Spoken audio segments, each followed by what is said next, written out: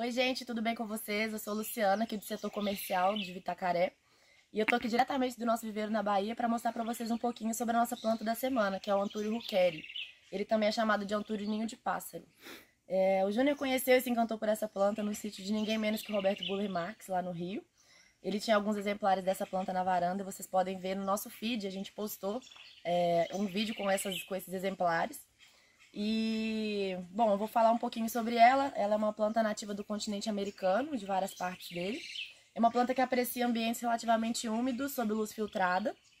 E é uma planta perene, ela pode ser considerada epífita porque ela não precisa necessariamente do substrato para se manter. Eu vou mostrar algumas características botânicas sobre ela também. Ela é uma planta que forma, tem formato de roseta, uma roseta perfeita, com folhas verdes bem brilhantes e lisas. Ela possui essa estrutura aqui, chamada de catáfilo.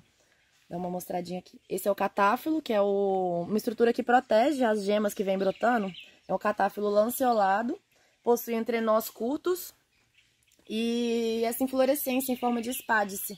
Aqui a espádice tem esse tom é, azul bem forte, intenso, roxo, não sei se vai dar pra ver tão bem, mas é uma cor bem linda, com a espata com alguns tons arroxeados também, o verde puxando um pouco para o roxo.